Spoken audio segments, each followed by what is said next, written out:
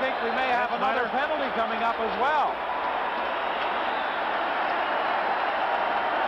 oh, look at this. Roger Neilson has a towel. He's waving the white flag. And I think that may have resulted in Myers reacting.